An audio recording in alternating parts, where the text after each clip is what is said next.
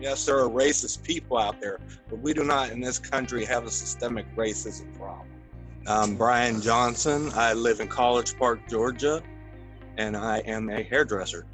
You know, there's this notion in the black community that there's no racism on the other side, but there is. And then there's this notion that there's this white privilege, but there really isn't. There is a group of people out there that want to create chaos to get their agenda through that they want to get through.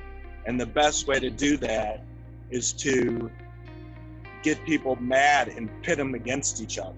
Like, I don't understand how burning down the neighborhood you live in and destroying property is solving any problem whatsoever. I mean, I'm not racist, so, you know, what's the role?